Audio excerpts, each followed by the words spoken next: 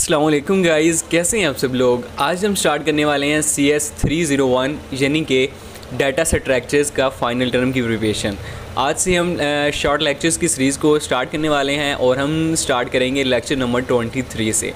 और इससे पहले आ, मैं आपको बताऊँ कि अगर आपको अपनी किसी भी सब्जेक्ट की असाइनमेंट और कोइज़ फ्री में चाहिए फ्री ऑफ़ कॉस्ट तो आप जो डिस्क्रिप्शन में नंबर है उस पर मुझसे कॉन्टैक्ट कर सकते हैं। आपको असाइनमेंट और आपका कोइज़ बिल्कुल फ्री में मिल जाएगा वो किसी भी सब्जेक्ट का हो।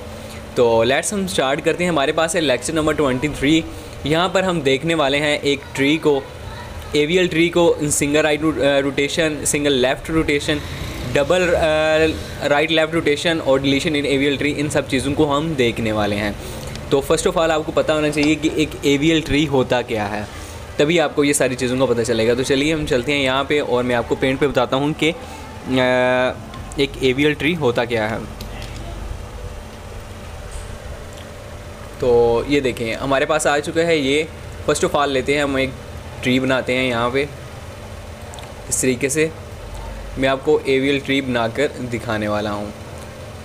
तो यहाँ पर हम इसको करते हैं अटैच तो ये बन गया हमारे पास एवियल ट्री आपको लग रहा है कि ये ट्री है, लेकिन ये इस तरीके से ट्री नहीं होता। हमने इसको अंदर इसकी वैल्यूज़ आपने पुट कर लेनी है, जो भी हो सकती हैं। अब एवियल ट्री वो होता है कि हमारे जो लेफ़्ट नोड्स हैं ना, अगर इन में से हम अपने राइट नोड्स को माइनस कर दें तो हमारे पास जो आंस है, वो आना चाहिए ज़ीरो या हमारे पास आंस आना चाहिए माइनस वन या हमारे पास आंस आना चाहिए वन अगर ये तीन जवाब आते हैं हमारे पास तो इट्स मीन कि ये जो हमने बनाया हुआ है ना, ये एक एवियल ट्री है। अगर हम अपनी लेफ़्ट नोड में से राइट right नोड्स को माइनस कर दें तो हमारे पास ज़ीरो माइनस वन और वन जो है आंस आना चाहिए। तो हमने इस चीज़ को देखना है। तो नेक्स्ट चलते हैं हम अपने, और हमारे पास आ जाता है सिंगल राइट रोटेशन अब बाकी आपके पास ये जो आपके चैप्टर है ना, ये आपका लॉन्ग क्वेश्चन के हवाले से आएगा और आपको ना यहाँ पर शेप शेप बताएगी बताएगी। बाकी ये थ्योरी नहीं आने वाली, क्योंकि थ्योरी आपकी नहीं होती है। आपके सब्जेक्ट की ना इन चैप्टर्स में से आपकी थ्योरी नहीं आती, बल्कि क्वेश्चन आते हैं लॉन्ग क्वेश्चन आते हैं। तो आपके लॉन्ग क्वेश्चन और इस चैप्टर में बहुत ज़्यादा इंपॉर्टेंट है। तो फ़र्स्ट ऑफ़ ऑल हम जाते हैं और देखते हैं कि सिंगल लेफ़्ट रोटेशन होता क्या है। फ़र्स्ट ऑफ़ ऑल आपने देखना है कि फ़र्स्ट ऑफ़ ऑल तो हमने सिंगल रोटेशन को देखना है कि सिंगल रोटेशन क्या चीज़ होती है। आपके पास फॉर एग्ज़ाम्पल एक लाइन है। इस तरीके से अगर आपके पास तीन नोट्स हैं फॉर एग्ज़ाम्पल ये आपकी वन टू थ्री ये आपकी तीन नोट्स हैं और एक तरफ़ आपकी ये तीन नोट्स हैं। तो ये आपकी होती है सिंगल सिंगल रोटेशन होती है ये आपकी। अगर आपके पास एक सीधी लाइन होगी तो इट्स मीन कि, वो आपकी सिंगल रोटेशन होगी। अब आपको कैसे पता चलेगा कि लेफ़्ट कौन सी है और राइट कौन सी है? आपने देखना है कि ये लाइन किस तरफ़ किस तरफ़ जा रही है। ये लाइन जो है, ये लेफ़्ट की तरफ़ जा रही है। आपने देखा ना राइट इधर होता है लेफ़्ट इधर होता है। ये लाइन किस तरफ़ जा रही है? ये लेफ़्ट की तरफ़ जा रही है। तो इट्स मीन के, इसके हमने जिस तरफ़ लाइन जाएगी ना, हमने उसे, उसका इन्वर्स जो है ना, वो यूज़ करना है। तो ये लेफ़्ट की तरफ़ जा रही है तो इसमें हमारे पास होगी यूज़ सिंगल राइट रोटेशन इस पर क्या यूज़ होगी? सिंगल राइट रोटेशन अब हम इस लाइन को देखते हैं तो इस लाइन पे आता है हमारे पास, ये जो हमारी लाइन है, ये राइट की तरफ़ जा रही है। ये राइट है, ये लेफ़्ट है। ये हमारे पास राइट की तरफ़ जा रही है तो इस पर इसका इन्वर्स कौन सा यूज़ होगा? इट्स मीन कि इस पर जो यूज़ होगा, वो होगी लेफ़्ट रोटेशन तो ये बन जाएगी सिंगल लेफ़्ट रोटेशन इस पर यूज़ होगी और सिंगल राइट रोटेशन इस चीज़ पर यूज़ होगी. तो आपको पता चल गया होगा कि सिंगल लेफ़्ट रोटेशन और राइट रोटेशन क्या चीज़ होती है. अभी हम जल्दी आएँ और मैं आपको बताता हूँ कि हमारी जो डबल है ना, ये फ़र्स्ट ऑफ़ ऑल हमने ये सिंगल वाली पढ़ी है. आपको जो मैं आपको कंसेप्ट दे रहा हूँ ना, उस तरीके से आपका क्वेश्चन आना है। मैं आपको ये सारी डिटेल बता देता हूँ कि आपका क्वेश्चन किस तरीके से आएगा। वो मैं आपको बताऊँगा साथ, लेकिन आपको जो मैं कंसेप्ट दे रहा हूँ ना, आपने ये इन चीज़ों को याद रखना है। इसके बाद आ जाते हैं हमारे पास डबल राइट लेफ़्ट रोटेशन अब हमने देखना है कि डबल कौन सी होती है। अब डबल में क्या होता है? सॉरी हम एक लाइन लेते हैं, यहाँ पे नोट्स बनाते हैं। फॉर एग्ज़ाम्पल आपके पास एक ये है। और दोबारा से हम चलते हैं और एक आपके पास ये लाइन है। इन दोनों को हम करते हैं अटैच तो आप देखें, जिसकी जो तीनों नोड्स हैं ना, वो एक दूसरे से मिल नहीं रहा जो सिंगल थी, वो तो एक सीधी लाइन थी। वो एक लाइन में, एक डायरेक्शन में थी। यानी कि जिसके तीनों नोड्स एक डायरेक्शन में ना होंगे ना, वो हमारे पास डबल होगी। फॉर एग्जांपल एक नोड हमारा यहाँ इस तरफ़ जा रहा है, दूसरा नोड हमारा इस तरफ़ जा रहा है, तीसरा नोड हमारा इस तरफ़ जा रहा है। या आप इस तरीके से भी बना सकते हैं इस लाइन को। आ, ये देखें ये भी आपके पास एक डबल नोटेशन बन गई। यानी कि जिनकी जिसके जो तीनों नोड्स हैं ना वो मुख्तलिफ़ डायरेक्शन यानी कि डिफरेंट डायरेक्शंस में जा रहे होंगे ना वो हमारे पास होगी डबल रोटेशन तो अभी हमने देखना है कि इसमें डबल लेफ़्ट और राइट का क्या सीन होता है। वही सीन होता है जो पिछले लेकिन हमने इसमें देखना ये होता है कि जो नीचे यूज़ हो रही है ना हमने उसको देखना है। अब हमारी जो नीचे यूज़ हो रही है, ये किस तरफ़ जा रही है? ये हमारी जा रही है लेफ़्ट की ये हमारी राइट की तरफ़ जा रही है।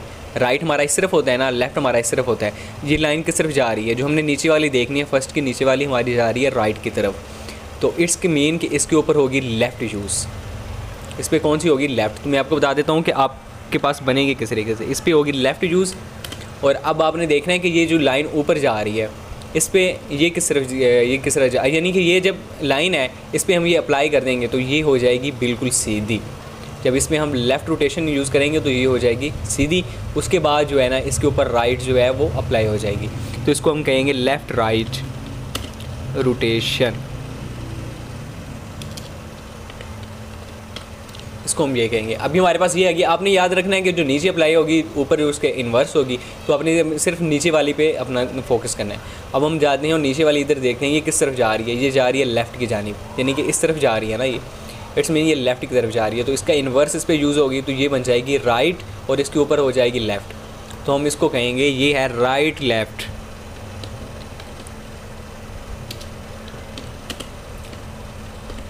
इसको हम बोलेंगे राइट लेफ़्ट तो इसी चीज़ को हम कहते हैं यानी कि डबल डबल हम इसको, इसी को कहते हैं डबल लेफ़्ट राइट रोटेशन और डबल राइट लेफ़्ट रोटेशन इस चीज़ को हम कहते हैं। ये हमारे चार टॉपिक्स जो है, ये हो गए कवर ये बहुत ज़्यादा ईजी थे।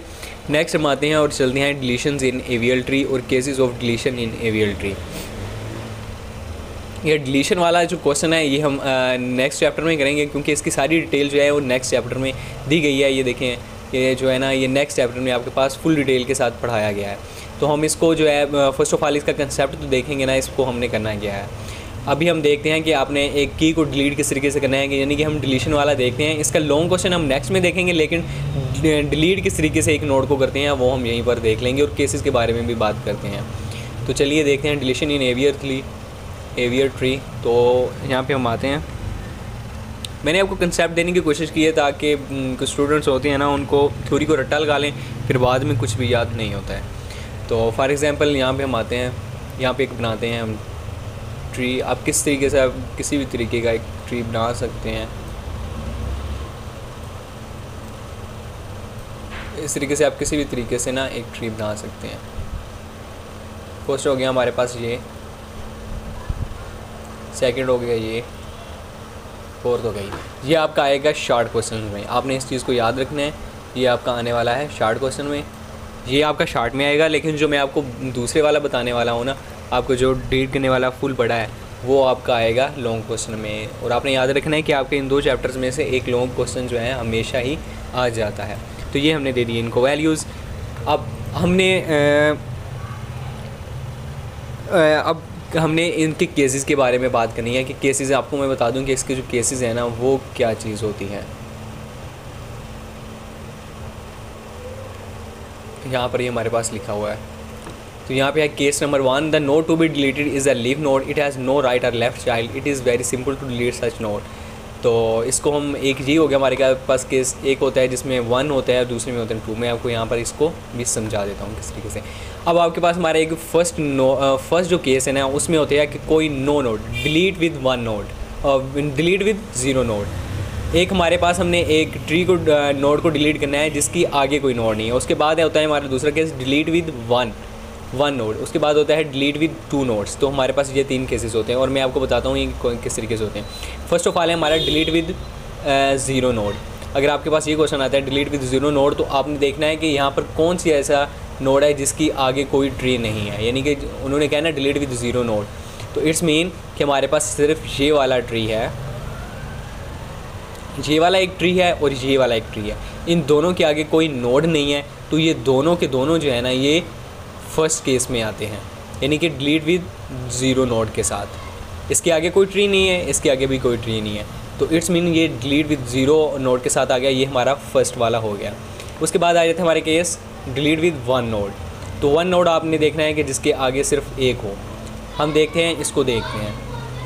ये हमारे पास, इसके आगे सिर्फ़ एक नोड है। अब कहीं, आप अब कहेंगे कि ये भी इसके आगे एक नोड है, इसके आगे एक नहीं है, इसके आगे दो नोड्स हैं, ये आप देखें। इसके आगे दो नोट्स जा रही हैं। ये पेरेंट है, हमने पेरेंट से चाइल्ड की तरफ़ चलना है, इसके आगे दो नोट्स निकली हैं। लेकिन ये है, इसकी सिर्फ़ एक आ रही है। ये तो पेरेंट की तरफ़ से आ रही है ना, इसको नहीं हमने ढूंढा, क्योंकि ये पेरेंट की तरफ़ से आ रही है। ये हमारी, इसके बाद हमारी ज़ीरो वन नोड वाली ये एक बचती है, जिसके आगे एक नोड है। उसके बाद हमारे पास नेक्स्ट आता है, उसको हम बोलते हैं डिलीट विद टू नोट्स अब टू नोट्स वाली हमारे पास कौन सी है? ये वाली है बी और सी इसको हम बोलेंगे, ये जो हमारे पास ये नोड है ना, इसको हम बोलेंगे डिलीट विद टू नोट्स इसके आगे, क्योंकि दो नोट्स निकल रही हैं तो इसको हम डिलीट विद टू नोट्स बोलेंगे। तो ये था हमारे पास जो लास्ट वाला हमारा चैप्टर क्लियर हो गया। अभी एक ट्री को हम किस तरीके से डिलीट करते हैं ट्री में से नोड को किस तरीके से डिलीट करते हैं, वो हम अपने देखने वाले हैं लेक्चर नंबर ट्वेंटी फोर में। तो आपने यहाँ पर देखें, इसमें डिटेल के साथ ये टॉपिक बताया गया है डिलीट इन एवियल ट्री तो यहाँ पर आपको फुल डिटेल से समझ लग जाएगी, इसलिए मैंने ऊपर से इस टॉपिक को स्किप किया है, क्योंकि नीचे भी वही टॉपिक है। तो कैसी लगी आपको वीडियो? अपने चैनल को मस्टली सब्सक्राइब करना है, बेल के आइकन को प्रेस करना है। Thank you and thank you very much